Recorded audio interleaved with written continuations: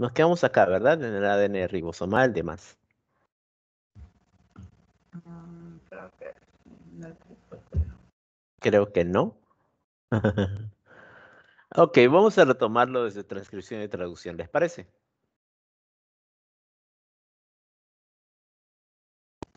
Sí, dice. Sí. Mejor, ¿no? Sí, por favor. Ya de todas formas, ya tienen los videos, así que eh, va a ser más sencillo para ustedes este, verlo en el video las veces que sea necesario, porque yo les voy a explicar de forma teórica, así medio que un poco más, más mm, sin mucho chiste, por el tema factor tiempo principalmente, ¿ok? Tomen en cuenta que su semestre ya está a punto de acabar. Tres semanas más y ya fue, por si acaso. Sí, también lo pensé yo, pero bueno, ya. Ok, entonces, vamos a ver, la transcripción es un proceso que se da dentro de las células para producir proteínas, para tener un producto que se necesita en ese momento. ¿Ok?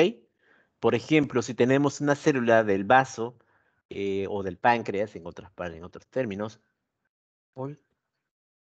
Perdón. ¿Cómo subiste vos, gordo, aquí? Ya. Este, les decía que, por ejemplo, si tenemos una célula de vaso, esa célula necesitamos producir, va a necesitar producir insulina. Entonces, este, pues va a generar esas proteínas y se van a transcribir y se va a traducir ese segmento de ADN que va a estar relacionado a la producción de esa proteína. ¿De acuerdo? Muy bien. Eso es lo que más rescatable que tienen que saber ustedes. ¿En qué momento se da la replicación? El anterior proceso. El anterior proceso se da cuando se quiere reproducir una célula, cuando hay regeneración, cuando hay crecimiento. En cambio, la transcripción y la traducción se da únicamente cuando es necesaria y es parcial, no es total.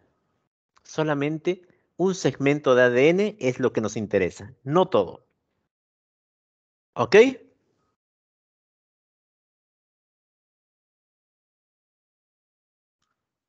Muy bien. Ok. Para darles un poco más digerida la, la historia, la información. Porque después vamos a hablar, por ejemplo, de enzimas. En la transcripción se inicia con una enzima que se llama helicasa. Las helicasas son enzimas que van a romper los enlaces fosfodiéster que se, se dan para la formación de la doble cadena de ADN. Luego aparece otra enzima que se llama ARN polimerasa que va a polimerizar o formar o sintetizar, como ustedes quieran llamarlo, el ARN mensajero, ese que llevaba el mensaje del núcleo hacia los ribosomas. ¿Ok? Luego se da el proceso de iniciación. Este proceso de iniciación se da gracias a un triplete, a un juego de tres bases nitrogenadas que se los conoce como el triplete de inicio, que es de metionina principalmente. Aquí está. No sé si logran ver. Eh, aquí donde dice inicio, vamos a poner mi puntero láser. Aquí dice inicio, metionina. Este es el triplete de inicio. Y se- la iniciación de la replicación, digo, la transcripción de esa proteína siempre va a tener un inicio. Es ahí donde se va a generar. Por eso es sencillo para el ser humano, para un ingeniero genético, saber dónde y cuál es la proteína en cuestión, porque siempre tiene un inicio y siempre tiene un triplete o un, un codón de término. ¿Ok? Ya. Entonces la transcripción se inicia con ese codón de metionina. Luego se da la elongación, que es cuando el ribosoma empieza a crear la cadena polipeptídica. Eso vamos a, asociarlo justamente a este ARN ribosomal en forma de trébol. Aquí es donde él lee la información del ARN mensajero. Aquí lee los tripletes con este anticodón. Y aquí en la parte final, en el 3', ahí es donde hay un aminoácido específico por cada triplete. De esa forma, este triplete eh, libera ese aminoácido y el ribosoma lo va fusionando uno tras otro. Cada una de estas bolitas que vemos acá es un aminoácido que se va fusionando. ¿Ok? Aquí viene el ARN mensajero, del transcripcional, por ejemplo, y aquí está su aminoácido. Este es su triplete. Llega acá y como va a, a cerrar el cerrojo entre el mensaje y el anticodón, pues va a liberar este aminoácido y ese aminoácido va a ser fusionado a la cadena polipeptídica para generar la proteína en sí. Ese básicamente es el proceso de transcripción y traducción. Aquí lo tenemos de forma más clarita, un poco más resumida. Tenemos nuestra ADN, aquí aparece la helicasa y lo separa el ADN.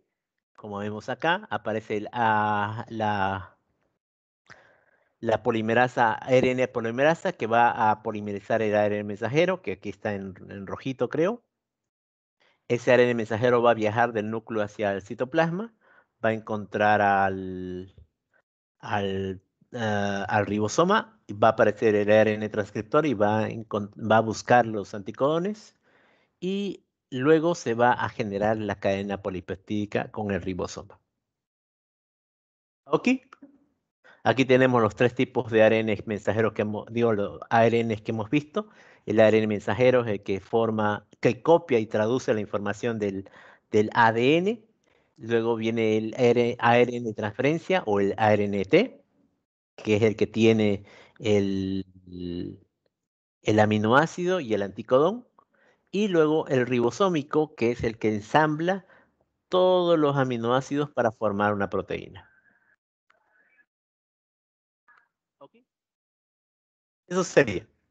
Eso está más que explicado, chicos, en el en los videos que les, acabo de compartir al WhatsApp, ¿ok? Sí, Lisa, se ve muy bien explicado con lo que puso con esas imágenes de dibujo. Sí, la verdad es una parte bonita, pero a veces, a veces cuando no le pillan el hilo, uy, se pone complejo. Ok, ¿y por qué hemos aprendido esto de replicación y traducción? ¿Por qué? Bueno, la transcripción y traducción, más o menos, ¿verdad? O sea, eh, se produce cuando el cuerpo necesita algo. Si nosotros consumimos demasiado azúcar, el cuerpo necesita producir más insulina, por ejemplo.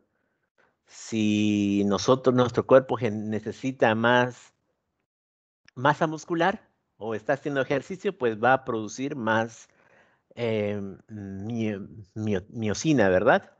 Más proteínas de músculo, actina, miocinas. Ah, ya, entonces las células van a producir más estas, estas proteínas. Y así, y así, y así. ¿Ok? En cambio, la replicación, la replicación es lo que vamos a aprender la razón, motivo, circunstancia en este momento. Para ello, vamos a ver algo por acá.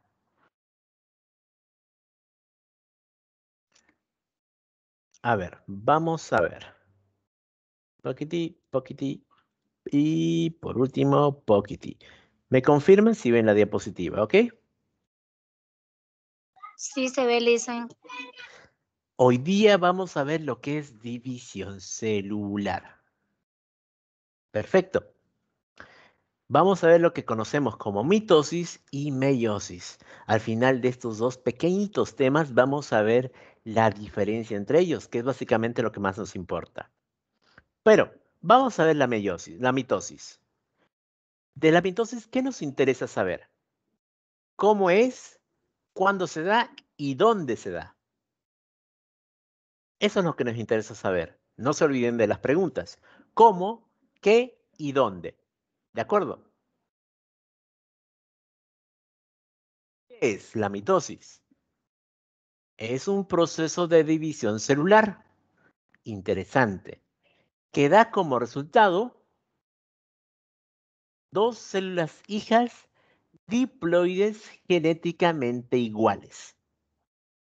Vale decir clones. ¿De acuerdo?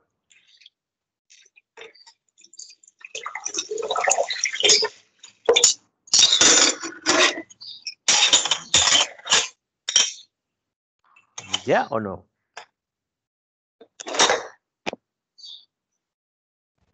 Creo que va a desayunar recién. Ok, ya, eh, olvidemos al que va a desayunar recién y respóndame si más o menos quedó claro el concepto de mitosis. ¿Lo puede volver a dar, licenciado, por favor? Ya, es un proceso de división celular que se da, valga la redundancia, en células eucariotas. Pero cuando vamos a, a- po- por un momento vamos a, a sacar el término eucariotas. Dentro de las células eucariotas, en el, por ejemplo, en el cuerpo humano, que es lo que nos interesa, tenemos dos grupos de células. Son las células somáticas y las células sexuales. ¿De acuerdo? ¿Alguien sabe qué significa célula somática?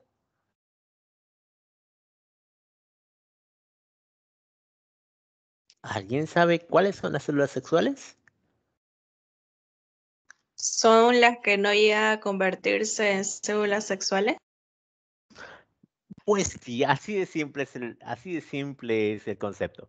Son todas aquellas células de nuestro cuerpo, exceptuando las sexuales. ¿Y cuáles serán las células sexuales, chicos? El óvulo y, ¿Y? el espermatozoide. El Perfecto. espermatozoide. Esas son las gónadas o células sexuales, ¿de acuerdo? Que jamás se les olvide. La mitosis se da en células somáticas. Eso responde a la pregunta de dónde. ¿Dónde se genera la mitosis? En todas las células somáticas. ¿Ok? ¿Y por qué se da este, este proceso? Por ejemplo, ustedes a lo largo de su vida, cuando estaban en desarrollo, hicieron mitosis para crecer, ¿cierto? Para elongarse, para estirarse, para crecer verticalmente, ¿cierto? Para producir nuevos tejidos en cuestión de la pubertad. ¿O me equivoco? Sí. ¿Sí me equivoco? Ojalá no me esperaba eso, ¿eh? Tienes razón. Ya. No. Mm, ok. Ya. Entonces, ¿qué otra característica más tenemos de la mitosis? Que de una célula madre se van a producir dos células hijas diploides genéticamente idénticas. ¿A qué me refiero cuando, cuando hablo de diploide? Que tiene dos pares de cromosomas. ¿Cuántos cromosomas tiene el ser humano, chicos? 46. 40 y- Pero serían 23 pares. Perfecto, 23 pares de cromosomas. Cuando una célula tiene 23 pares de cromosomas, se la conoce como diploide. ¿Ok? Nunca se olviden. O también conocido como 2N. ¿Ya? ¿O no ya?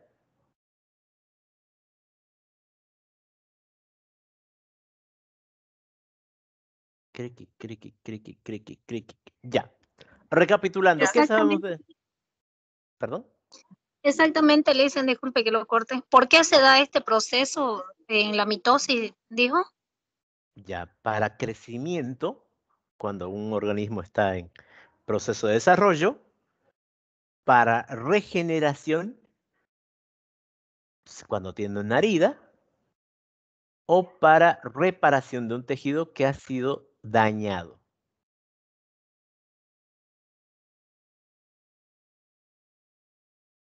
¿Ok? Esa es la finalidad de la mitosis.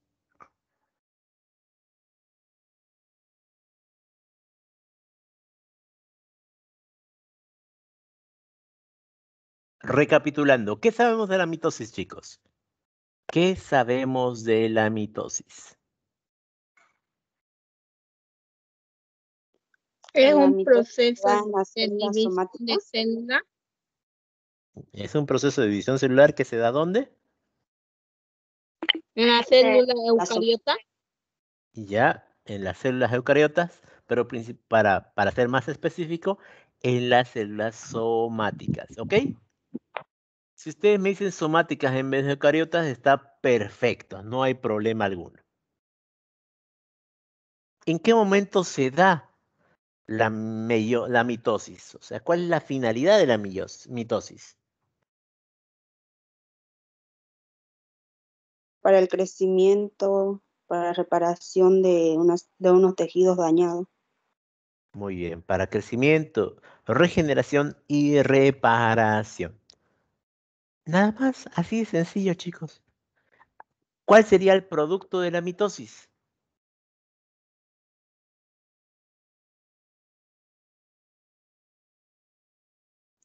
Dos células hijas. Ya, Ah, dos células hijas, genéticamente idénticas Genéticamente. y diploides. ¿Por qué será que menciono eso ¿cómo todo? dijo? El ¿Puede volver a producto- repetir, por favor?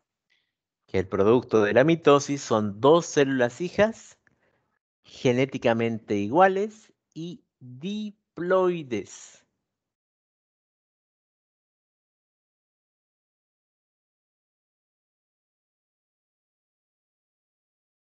¿Por qué eran diploides?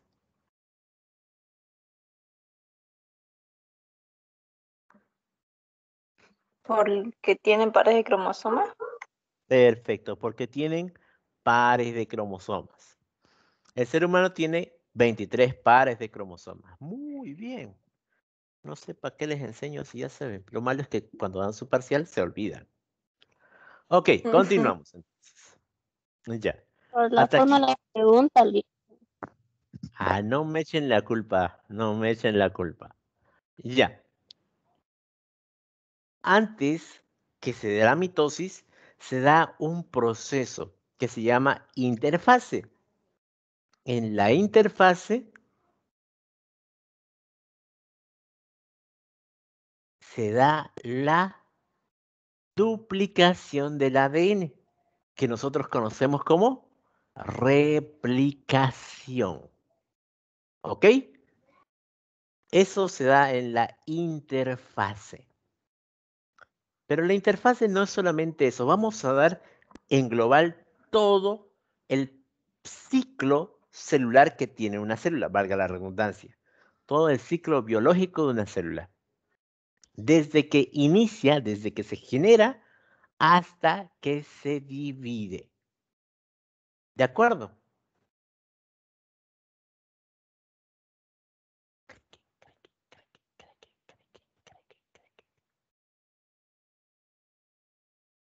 Ya, suponiendo, tenemos una división celular, tengo una célula X acá. Muy bien, se inicia.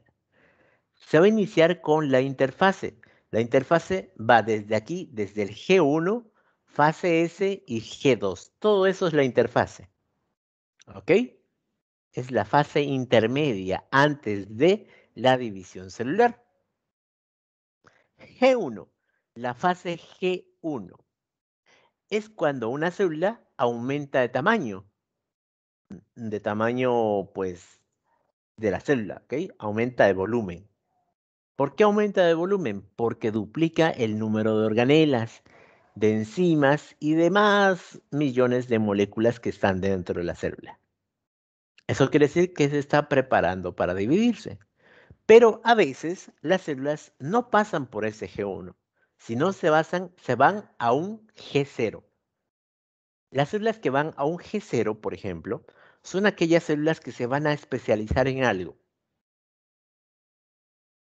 Por ejemplo, vamos a ver a los glóbulos rojos, para decirles algo. Los glóbulos rojos se originan ¿dónde? En la médula ósea, ¿verdad? En la cabeza del fémur. Ahí se da la hematopoiesis. el origen de las células rojas, de los eritrocitos.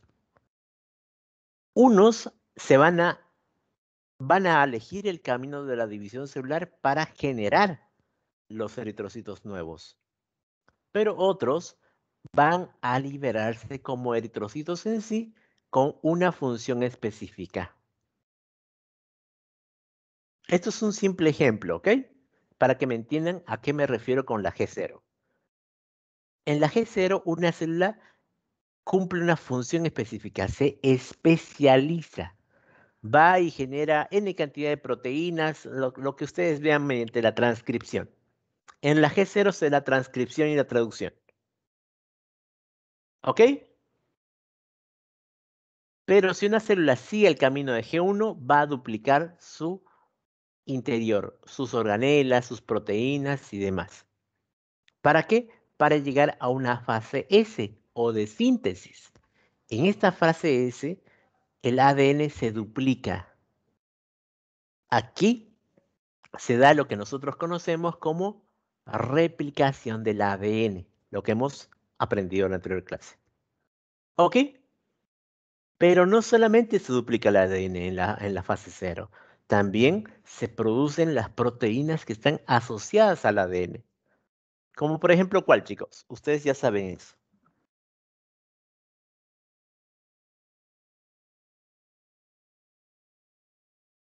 ¿Qué proteína está asociada a los materiales genéticos?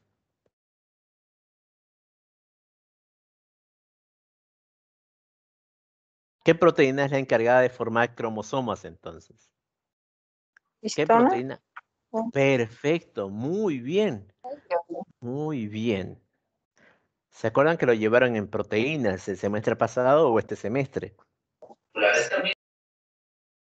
Ya, muy bien. Esas proteínas asociadas se crean también en esta fase S. ¿Para qué? Para que en la fase G2 empiecen a condensar los ADNs, se empiezan a formar los cromosomas.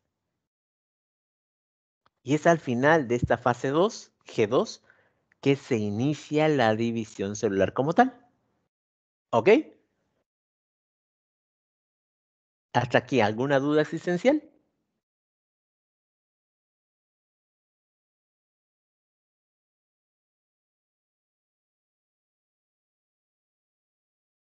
Criqui, criqui, criqui, criqui, criqui, criqui, criqui, criqui, criqui.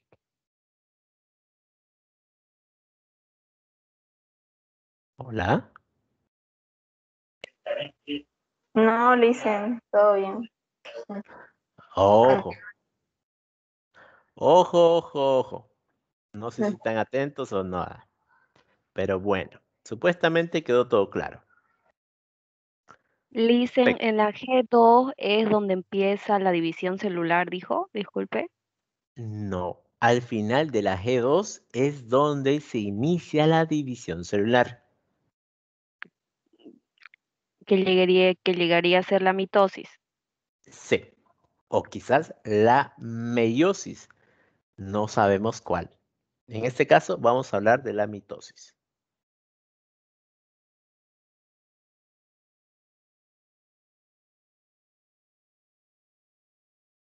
Deme un segundito, por favor, chicos. Un momentico, un momentico. Un momentico, un momentico, un momentico. Chiquitico. Ahorita vengo.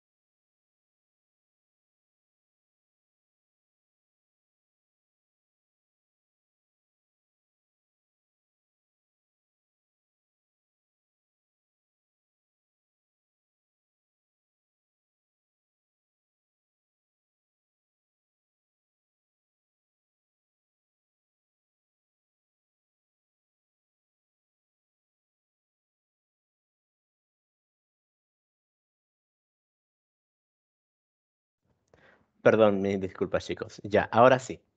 Vamos a continuar. ¿Dónde estábamos? Eh, no, no estábamos aquí. Estamos aquí, ¿cierto? En la ciclo de, en el ciclo celular. Muy bien. Ya. Entonces aquí ya no hay dudas, ¿ok? ¿Puede volver a explicar, Liz, en el G2?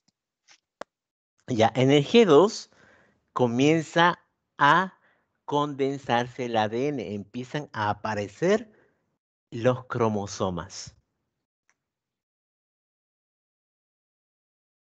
Recuerdan que los cromosomas es nada más y nada menos que el ADN condensado, ¿cierto? En esta fase G2 es donde comienzan a aparecer. Es la fase final de la preparación para luego dividirse. Muy bien.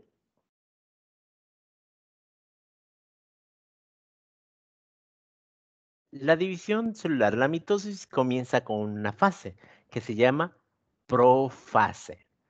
En esta profase es la continuación de ese G2 que les hablaba, donde van a empezar a engrosar los cromosomas. Esos cromosomas que se estaban iniciando en la G2, en la profase, terminan de formarse. Aparte, comienzan a, desarrollarse los centriolos, se van a alejar, se van a poner a los polos, por ejemplo, y ahí se da la profase. ¿Ok? Recapitulando, se forman los cromosomas como tales, así gorditos, bonitos, y los centriolos se van hacia los polos, opuestos obviamente de hacerla. Son dos, uno se va al norte y el otro se va al sur, por ejemplo. Perfecto. Luego viene la meta. Nucleo en lo no ve. Desaparece la membrana nuclear.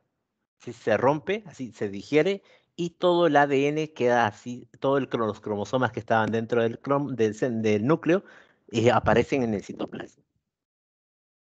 Es cierto, tienes toda la razón. Me olvidaba de ese pequeño detalle. Luego vamos a la metafase. Esta, esta fase es súper sencilla de, de, de, recordarla y de identificarla, porque esos cromosomas que estaban ya sueltos por ahí nadando en el citoplasma, de pronto se alinean, de pronto hacen una filita. Y esa línea se la conoce como línea del ecuador. Así como en el mundo, así en la célula. En cada polo, en cada polo opuesto se encuentra un centriolo. Y de esos centriolos nacen unos microtúbulos llamados usos mitóticos, que son unas proteínas tubulares. Estas proteínas van y se aferran al centro de cada par de cromosomas. Este centrito se llama cinetocoro. Cinetocoro, ¿ok?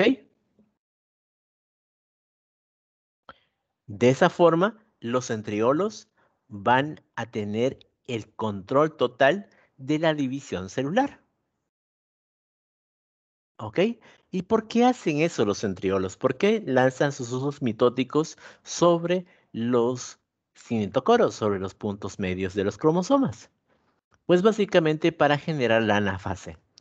La anafase, cada uso mitótico se contrae, en pocas palabras, cada centriolo jala para su polo una, una de las partes de los cromosomas, una de las cromátidas hermanas, y las jalan, uno para cada lado, uno cada, para cada polo.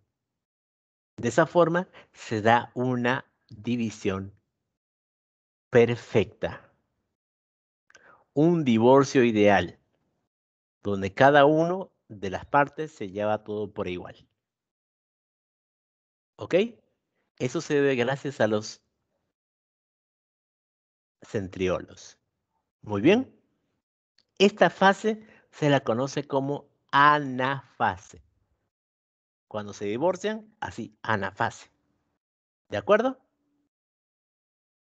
Al igual que los cromosomas, también se van a alejar hacia los polos las organelas, así como, por ejemplo, el retículo endoplasmático. Y gracias a esa división del retículo endoplasmático se va a dar la telofase. Y es cuando, gracias a ese retículo endoplasmático que se ha dividido, se va a empezar a formar los nuevos núcleos. ¿Ok? En esta fase se empieza a ver la división celular. Luego de esta fase, telofase, se va a dar la citocinesis, que es la división absoluta de las células. Por ejemplo, en esta foto, vemos aquí en la parte media una línea. ¿La ven? Eso es gracias a unas proteínas tubulares que empiezan a dividir las células. Empiezan a hacerle una cintura. Y llega un momento, pues se cierra y liberan dos células genéticamente iguales, diploides. ¿Ok? ¿Aquí alguna pregunta?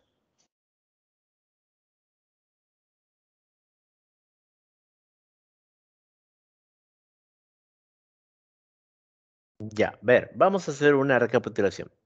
Profase es la fase primaria.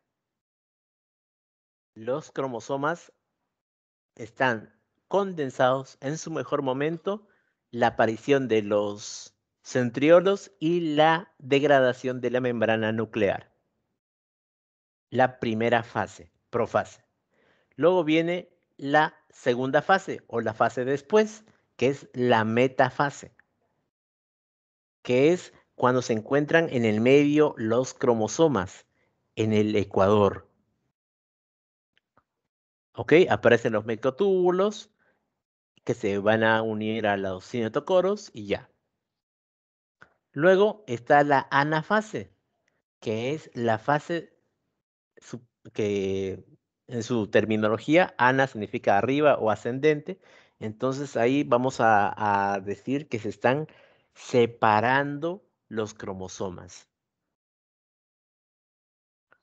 ¿Ok? No solo los cromosomas, sino también las organelas. Luego tenemos la telofase, que es fin, el término telos, y es pues el fin de la división celular. Después de esto viene la citocinesis, que es la división completa, así, cuando se sueltan las dos células hijas. ¿Ok?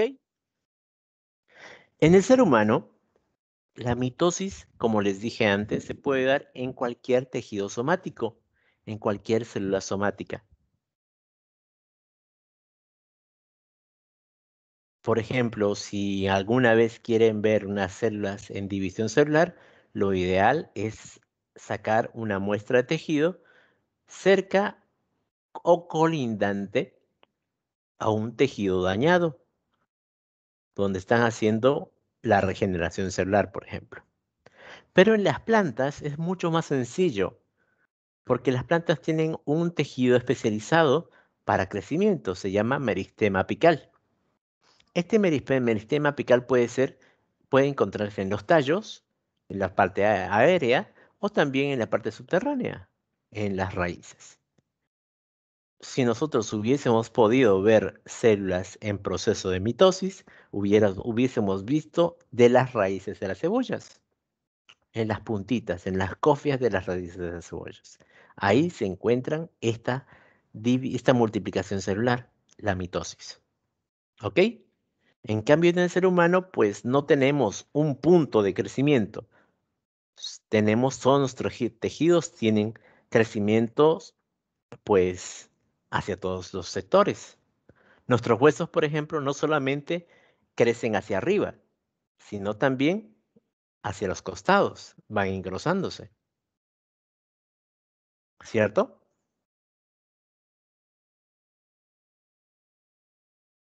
Ok. Muy bien. Ahora vamos a ver la meiosis. La meiosis. ¿Qué es la meiosis? ¿Alguien me puede decir qué es la meiosis?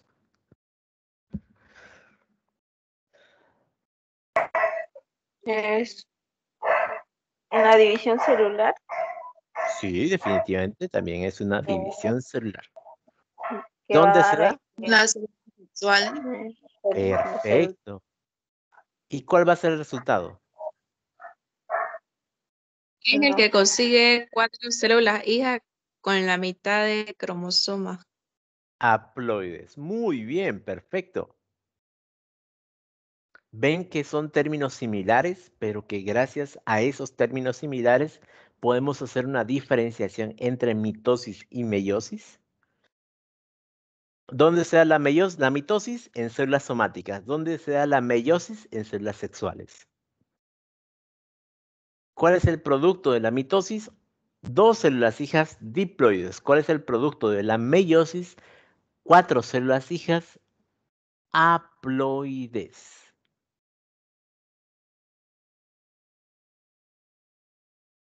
¿Ok?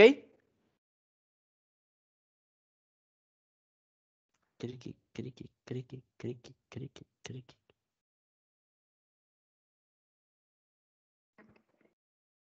Ya. A ver. Vamos a ver paso por paso la meiosis.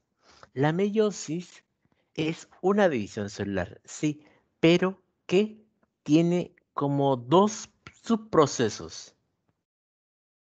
El primero se va a llamar meiosis 1 y el segundo meiosis 2. La meiosis 1 es idéntica a la mitosis. Hay una interfase donde se prepara para la duplicación del, del ADN y va a producir dos células diploides. Pero luego de este proceso se va a dar la meiosis 2. Y es aquí donde se generan las cuatro células haploides. ¿Ok? Vamos a verlo. Tenemos acá. Como les había dicho, es muy similar, por no decir idéntica, a la mitosis. En la mitosis teníamos una fase G1, ¿se acuerdan?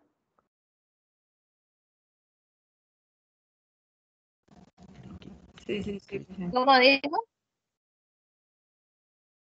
Que la parte inicial de la meiosis, la meiosis 1, es idéntica a la mitosis, donde, por ejemplo, en la mitosis teníamos una fase G1. Luego teníamos una fase S, la interfase S.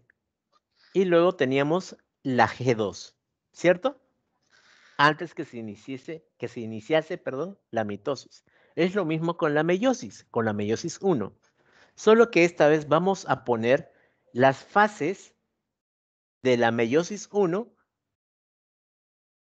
acompañados con ese número romano 1, con este, con esta I.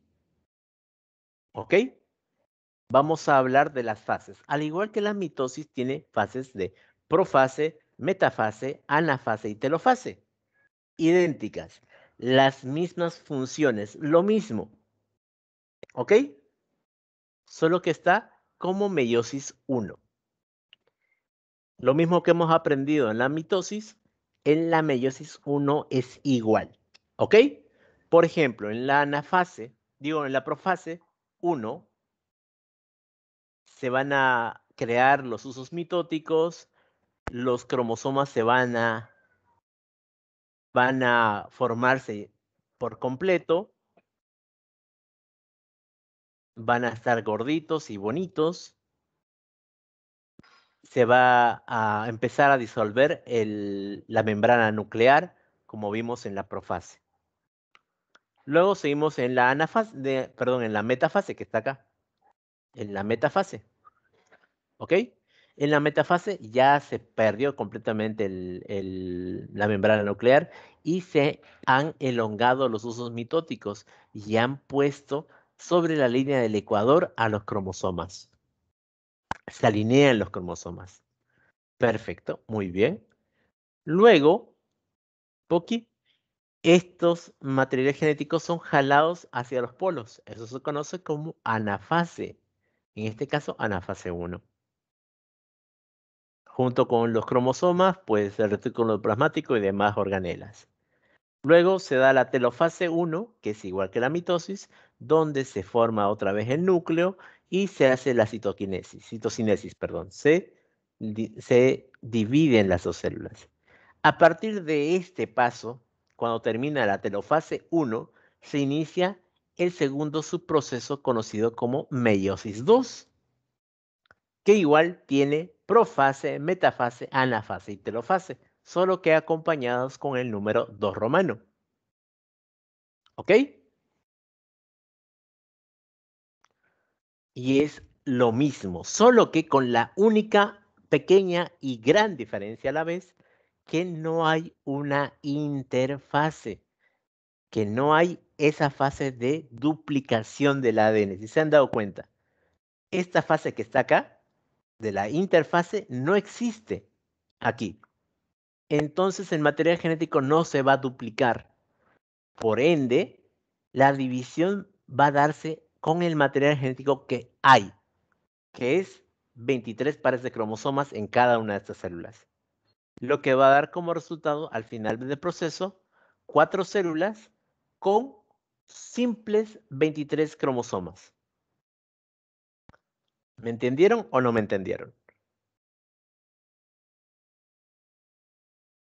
Sí, Licen. Ya, para los que no me entendieron, aquí en, la profase 2, que es después de la telofase 1, vamos a tener una célula con 23 pares de cromosomas, vale decir 46 cromosomas, ¿ok? Va a darse la metafase, la anafase, la telofase tal y como nosotros la conocemos. Pero como no hubo una duplicación del ADN, pues únicamente se dividió el ADN que existía, que había. De los 23 pares de cromosomas, se dividieron en dos, entonces cada una de estas células va a tener un juego simple de cromosomas. ¿Ok? Un juego simple. Pero como eran dos células por cada meiosis, entonces van a generar al último cuatro células haploides, como decía el anunciado. De una célula madre se generan cuatro células hijas haploides. Otra característica más que tiene la meiosis es que estas células haploides, estas cuatro células haploides, son diferentes genéticamente. En cambio, la mitosis eran genéticamente iguales, ¿se acuerdan? Estas, en cambio, son genéticamente diferentes. ¿Ok? ¿O no ok?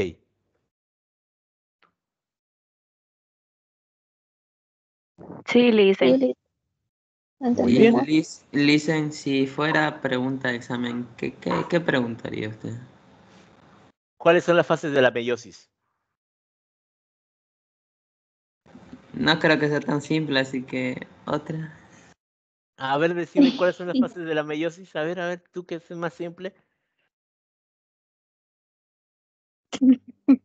Son dos. Su pregunta, yo digo. Usted pregunta cosas más. Ah, ching, ah, interesante. Es más capcioso. Ya, definitivamente no les voy a preguntar en qué se caracteriza la telofase, la anafase. No, no, no, no, no. ¿Seguro? Lo que les puedo preguntar es decirles, en la telofase 2, ¿cuántos cromosomas tiene cada núcleo que se forma?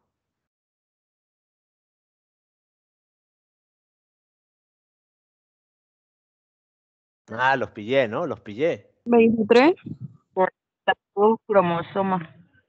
Claro, 23 cromosomas. Cada núcleo que se forma en la telofase 2 tiene 23 cromosomas. Y si yo les digo, en la telofase 1, ¿cuántos cromosomas tiene cada núcleo que se forma? 23 pares. Así de simple. Muy bien. O sea, ya se acostumbraron a mis exámenes ustedes. Volvemos a dar el primero. Sería buenísimo. Ya, ahora, ¿qué, ¿por qué tan compleja es la mitosis? Digo, la meiosis. Si tenemos cuatro células genéticamente diferentes, ¿por qué es- trabaja tanto las células para generar cuatro células genéticamente distintas? Básicamente, para que haya una diversidad biológica. Por eso, gracias a esta meiosis, nuestros hermanos, si tenemos hermanos, o nuestros hijos, si tenemos hijos, no se parecen. Bueno, no son idénticos. Puede ser que sí se parecen, pero no son idénticos.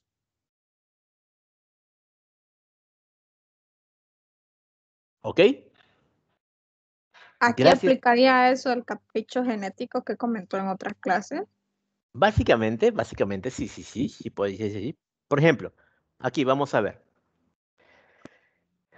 Por ejemplo, estos son cuatro espermatozoides que se han producido, por decirles. Ven, acá un hay un cromosoma azul, enterito, ¿verdad? Y uno rojito que tiene una puntita azul. ¿Se dan cuenta? A ver, no sé si lo ven. Sí, se ve, Licen. Ya, ya. Aquí este, esta otra célula tiene todo lo contrario. Tiene un cromosoma rojo, el grande, y el chiquitito tiene es azul.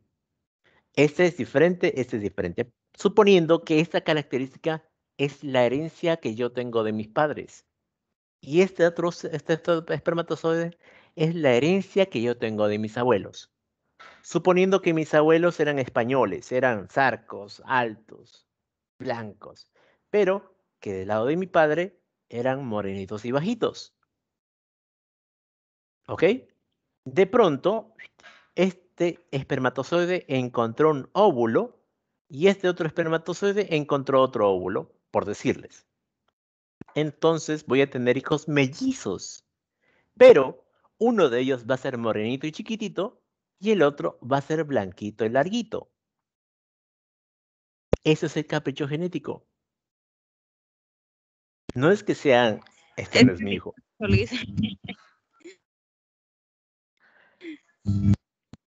¿Me entienden? Ahí se diferencia. Por eso los mellizos, los mellizos, que es producto de dos espermatozoides diferentes, pueden ser de diferente sexo y por lo general no son idénticos, o sea, no son para nada similares. Pueden ser parecidos en alguna forma, pero no son idénticos. Y los gemelos, Licen. Los gemelos se originan de un mismo material genético, de un solo espermatozoide y un solo óvulo, que por características genéticas, ya sea hereditarias o porque haya consumido algo en, el, en la fecundación, en el proceso de la fecundación, pues se dio una división de más. Y ahí se formaron dos embriones. Como son Y, y- y genéticamente- aquí hay hitos o, o productos se refiere. ¿Cómo? ¿Hola? Hola. Le preguntaba eh, ¿a qué alimentos o productos se refiere para una persona este, esté, esté embarazada de Ah, hay ciertas drogas que como efectos secundarios provocan esta, esta división celular extra. Y al decir drogas no me refiero a que se drogan, sino una droga médica, un medicamento. ¿Ok? A Depende una del. Licenciado. un ginecólogo. Un ginecólogo puede saberlo. Sí. Lisa, una pregunta. ¿Es Dígame. posible que, que mellizos eh, tengan padres diferentes? Claro que sí, y ha sido, son casos que se han publicado. Por ejemplo, en Estados Unidos, un señor demandó a su esposa porque tuvieron mellizos y uno era hijo de él y el otro era hijo del lechero. Entonces, pues sí se da la situación y eso vamos a ver justamente en el tema de la, o- de la ovogénesis. Vamos a explicarlo más adelantito.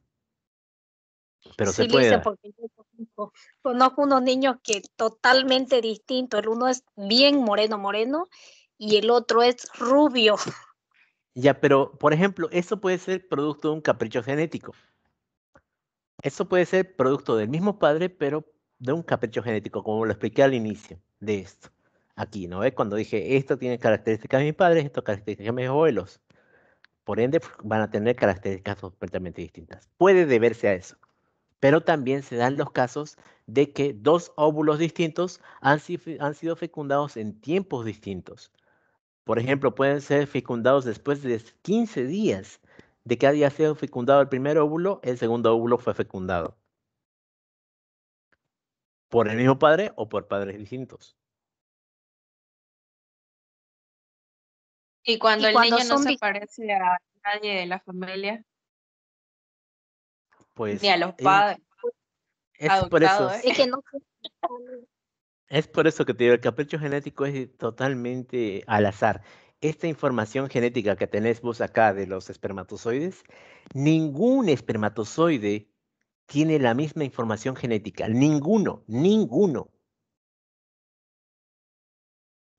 Dicen es que no siempre salen a, a los padres, ¿no? Sale, eh, o sea, vienen de, de abuelos, de bisabuelos, así como usted decía, de, de españoles, ¿no? Mi abuelo, mi bisabuelo es español, pero mi abuela era súper morena.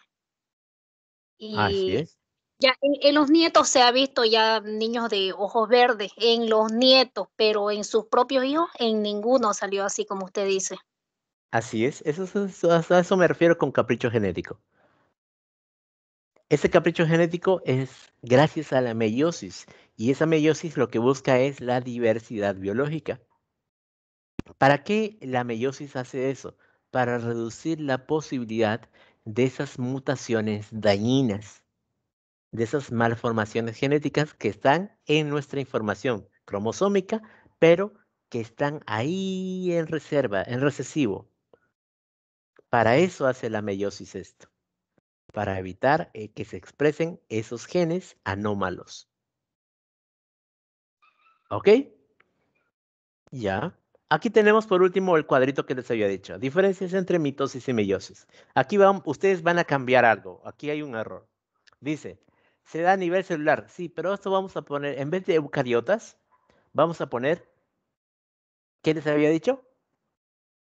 Células Somática. Somáticas. Perfecto. Y la Células meiosis. somáticas. Sí, Somáticas. Somáticas. Somáticas. Perfecto. ¿Y la meiosis se da en células? Células sexuales. Sexuales. Gónadas, este, germinales o como quieran llamarlo. Ya. El producto de la mitosis. Una célula madre da a dos células hijas genéticamente idénticas entre sí y también idénticas a la madre. Eso es la mitosis. En cambio, la meiosis genera cuatro células hijas que son genéticamente diferentes entre sí y genéticamente diferentes a la madre. La mitosis pro- provoca células diploides, ge- genera, provoca, genera células diploides, no provoca, perdón. Entonces, la meiosis va a generar células haploides. La mitosis es un ciclo sin fin. Bueno, finaliza cuando alguien mu- muere. Pero la meiosis son fases, fases que se dan en reproducción. Por ejemplo, en una mujer, esta meiosis se da únicamente cuando va a generar un óvulo, cuando va a ovular. Si una mujer se embaraza, pues no va a generar óvulos durante nueve meses, ¿verdad? Por eso se le llama una fase. Ok, hasta aquí. ¿Alguna duda existencial? Bonito, chévere, ¿cierto? Interesante, dicen. Ahora me fijo la hora antes de, antes de pasarme la hora. Porque tengo clases y no quiero llegar como el otro día. Ah, sí, tenemos tiempo, tenemos tiempo, estamos a tiempo. Mis clases son las 11 y 10. ¿Alguna pregunta, algo existencial que quieran decirme? Dicen, ¿cuándo se produce, cuándo se pueden expresar esos genes que usted dice de la miosis, esas mutaciones dañinas? Ya, cuando hay demasiada similitud. A ver, ¿has escuchado alguna vez que dicen, Si te casas, si, si tienes hijos con tus parientes, van a salir. Ah, eh, sí. Porque es la misma. Sí, ¿Sucede cuando tienen el mismo tipo de sangre? No, no necesariamente el mismo tipo de sangre, sino cuando tienen mucha similitud genética, cuando son parientes muy cercanos. Por ejemplo, los menonitas. Los menonitas se caracterizan por ser una comunidad que se reproduce entre parientes muy cercanos. ¿Cierto? ¿Por qué? Porque pues ya, sal- ya todos son parientes ahí, en, esa, en, esa, en esas colonias, todos. Y entonces comienzan a reproducirse entre parientes, entre primos cercanos. Y eso produce mutaciones. Por ejemplo, yo he estado en unas colonias menonitas como parte de un personal médico. Y algo que noté es que de cada 10 menonitas que nacían, uno tenía seis dedos. O sea, el 10% de los nacimientos eran con seis dedos en los piecitos. La primera vez que lo vi, yo dije, conté mal y volví a contar. Cont- Conté cinco veces.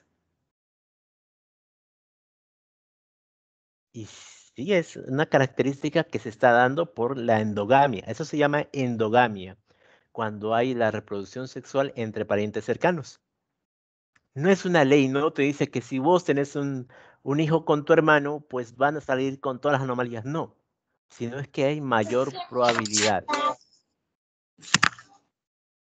Es lo mismo que pasa con los perritos. Eventualmente se cree que cuando un perrito tiene crías con su, her- con su hermanito, por ejemplo, con su hermanita, pues van a salir mal, van a ser- se van a enfermar, van a morir, van a hacer adefesios, es pecado y demás cositas, ¿verdad? Pues no, pues no. Es posible y es muy posible que se den crías normales, viables, totalmente viables, pero existe mayor posibilidad de que esas características que están en recesivo ocultas se expresen.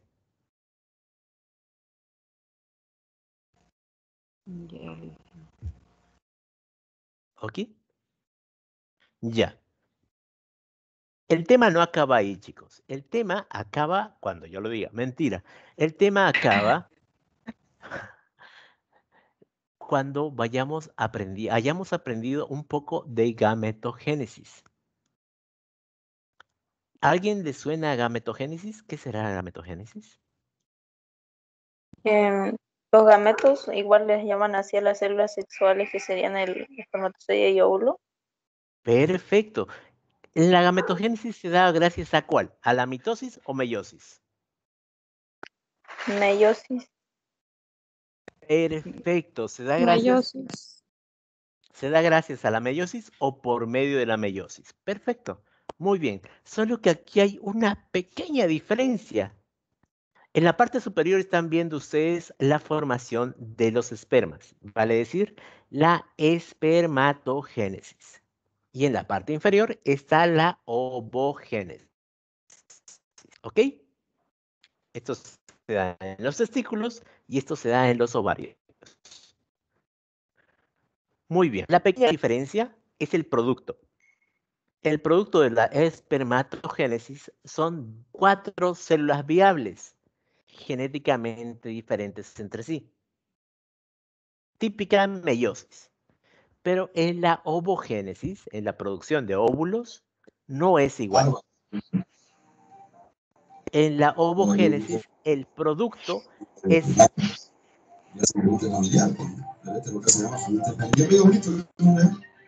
El celular 731 63 536. Oh, no. y es ahí que se tiran de examen. Ok, ya. Les decía, en la ovogénesis el producto es diferente. El producto es una célula viable o un óvulo, pongámoslo así, y tres cuerpos polares. ¿Qué serán los cuerpos polares? Vamos a ver. Vamos a ver, vamos a ver, vamos a ver. ¿Ok? Vamos a comparar. Primero está el espermatogonio en el, en el varón, la espermatogénesis, ¿ok? Muy bien. Ahí se da, una, se da antes una mitosis. Eso hay que recalcar. Antes de que se dé la meiosis, se da una mitosis. para que no se acaben las células. Porque ustedes saben que no tienen que acabarse las células madre. Las células germinales no tienen que acabarse. Por eso, primero hacen una mitosis, generan hijas y de esas hijas recién hacen haploides. Para que siempre el ser humano tenga células sexuales. Por eso hace primero una mitosis. Luego se da lo que conocemos nosotros como meiosis, la meiosis 1. El producto de la meiosis 1 en la espermatogénesis son dos células diploides. ¿Ok? Dos células diploides. Okidoki. Pero que tienen genéticas distintas, diferenciadas, como están representadas con colores, ¿bien? Diferentes colores, ¿cierto? Ya. En la segunda división meiótica o en la segunda meiosis, la meiosis 2, su producto van a ser cuatro células haploides. Estas maduran y se convierten en espermatozoides. Perfecto, hasta ahí no hay problema, ¿verdad? Han comido. ¿Qué pasará en la ovogénesis? Aquí está el ovogonio, hace una mitosis, puff, genera la primera célula que va a dar a la, a la ovogénesis. Se da la primera división meiótica, meiótica, va a dar dos células. Una con un juego de cromosomas diploide, pero con suficiente citoplasma, con todas las organelas y líquido suficiente. Eso es una célula viable. La otra tiene igual diploide, mismo número de cromosomas, pero con citoplasma reducido, sin todas las organelas, o sea, no tiene todas las organelas. Entonces, este, esta célula se la conoce como cuerpo polar. ¿Por qué? Porque no es viable.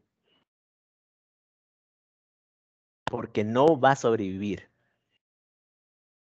Ok, perfecto. Se da la meiosis 2. De esta célula viable se van a dar dos hijas, haploides. Muy bien. Pero igual que la anterior vez, va a haber una con citoplasma suficiente, con todas las organelas, y el otro con citoplasma insuficiente. Y aquí aparece el cuerpo polar nuevamente. Del cuerpo polar que se había producido en la primera fase, se van a, va a dividir y va a producir dos cuerpos polares. Entonces, como producto de la ovogénesis, vamos a tener un óvulo viable, tres cuerpos polares. Esa es la gran diferencia entre la espermatogénesis y la ovogénesis. ¿Por qué será que la mujer, esto pasa en la mujer, en el, en el ser humano, no pasa en, en todos los organismos, solo en el ser humano? ¿Por qué será que solamente produce un solo óvulo en su espermatogénesis, en su ovogénesis?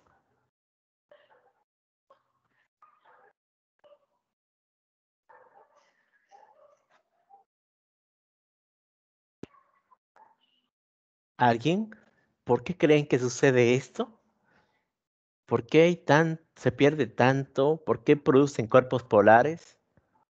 ¿Por qué hace ese sacrificio el ADN? ¿Las células, perdón? La carga genética. Mm, no. ¿Saben? Su cuerpo es más inteligente de lo que ustedes creen. Su cuerpo, como yo les había dicho a lo largo de toda la materia, su cuerpo es, hace, reserva todo lo que está en exceso, ¿verdad? Se dice, en algún momento vamos a necesitar y demás, por eso engordan a veces. Es eh, negociante, cambia una moneda por otra, ¿verdad? ¿Se acuerdan de todo eso? Lo mismo pasa con este proceso. Dice, ok, mi cuerpo no va a soportar muchos óvulos. Entonces vamos a reducir la probabilidad que se fecunden más, más que uno a la vez. Vamos a reducir la probabilidad. Entonces produzcamos solamente uno en cada ciclo ovogónico. Solamente uno. El resto que no funcionen. ¿Por qué? Porque si no, por cada ovulación, tendríamos mínimo cuatro crías. Igual que los perritos, igual que los gatitos. Pero el cuerpo humano no está diseñado como para albergar tanta vida. Entonces, es un desgaste que evita hacer su cuerpo. Imagínense si no tuviésemos estos cuerpos polares, aparte que tendríamos una super, mega, hiper, superpoblación de seres humanos, en cada embarazo tendremos mínimo cuatro hijos.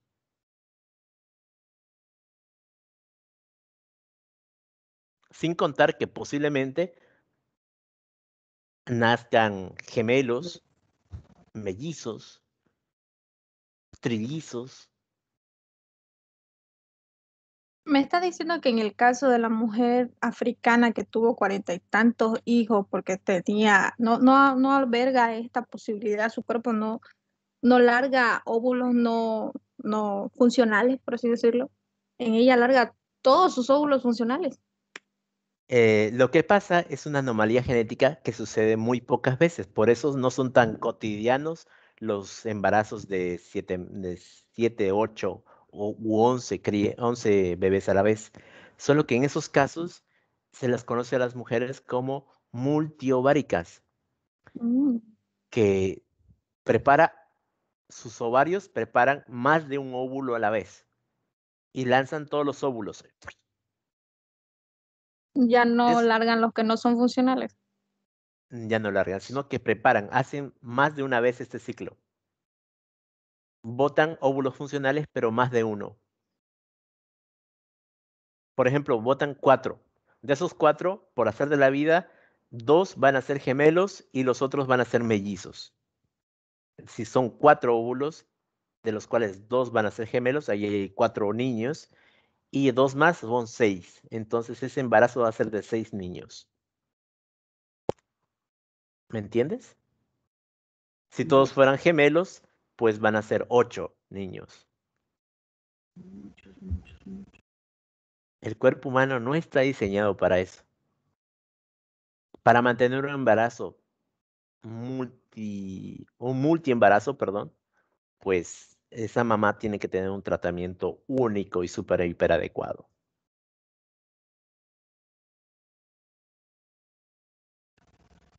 Lisen, una pregunta. Y cuando, digamos, la persona está planificando y le dan cierto medicamento para que refuerce, ¿no provoca que se pro- o sea, provoque eso en la cual, digamos, el cuerpo sabe que tres van a fallar y uno nada más? O sea, ¿no provoca que los cuatro estén activos? Mm, Lo que hacen los, los medicamentos para preparar un embarazo básicamente es hacer que su genética, la genética de ese óvulo que se está formando, sea la mejor que pueda haber. Y el organismo lo sabe. Sí. Ya el organismo dice, ah, ya, voy a hacer que ese óvulo sea de calidad. Y se centra en uno. Sí. Y ahí nacen ustedes. Entonces somos producto de calidad. Claro que sí. Claro que sí. Pero quizás en, dentro de la carrera tenías un hermanito de ojos azules. Pero por Mentira, la estoy bromeando. No, estoy bromeando, estoy bromeando. Eh, Sí, eh, eh, son productos de calidad de ustedes, chicos, de, de Clean a Cola. Esto es lo mismo que les acabo de explicar. La espermatogénesis produjo cuatro, cuatro espermatozoides viables y aquí es el proceso de maduración donde el espermatozoide genera la colita.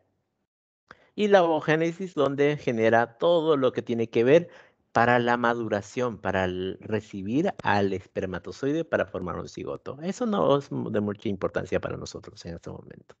Y al final, saber lo que es una gónada, que es donde se van a generar los gametos y donde se van a producir las hormonas.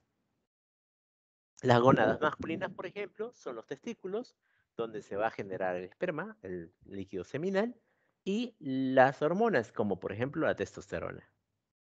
Y la gónada femenina van a ser los ovarios, donde se van a liberar las hormonas, como por ejemplo la progesterona y el estrógeno.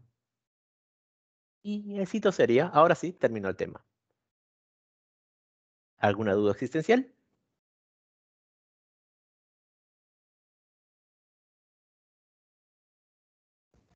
Dicen, ¿cómo se puede? Porque dicen